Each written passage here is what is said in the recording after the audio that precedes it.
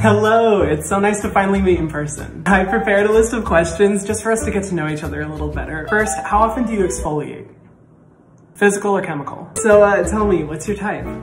No, I don't care what type of guys you're into. What's your skin type? Are you oily or combination? No, no, no, let me guess. You look like you have dry skin. Would you ever go to bed without doing your face routine? Have you ever gone to bed without doing your face routine? Will you ever? Okay, I have an idea. You tell me your skincare routine and I'll guess what astrology sign you are. You use that product?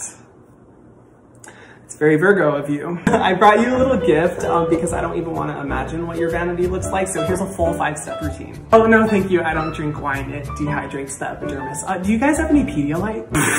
Bar soap?